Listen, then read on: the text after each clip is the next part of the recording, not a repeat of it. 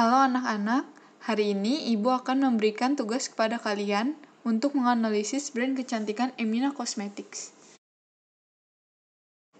Langsung Ibu bagi aja ya anak-anak. Angeline dan Raymond, lingkungan mikro, Vincent lingkungan makro, Rachel STP-nya, Shiren marketing mix-nya, Anangga tentukan apakah marketingnya sudah sesuai atau tidak, dan Michelle berikan solusi untuk meningkatkan marketing Emina. Kerjakan dalam kelompok ya anak. Wah, kalian kelihatannya sudah siap untuk presentasi ya anak-anak?